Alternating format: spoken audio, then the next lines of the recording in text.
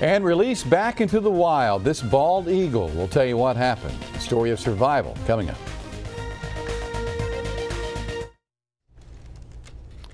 Well, on this Veterans Day, the Riverbank Zoo released a bald eagle into the wild. The eagle was brought to the zoo earlier this year to be treated for a foot injury.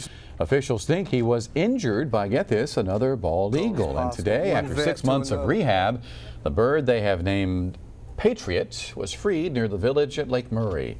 They say it's the perfect environment for him to live. So how about that?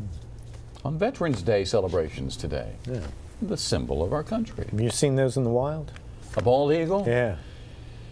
No. Would Lake Murray be considered the wild? Mm. Yeah. Dep- depends on what celebration is going on at the time. I've actually seen them in the wild in Alaska. They're beautiful. Really? Oh yeah, it's, it's fantastic. Uh, today was a warm day. Yes, compared was. to what we're about to see.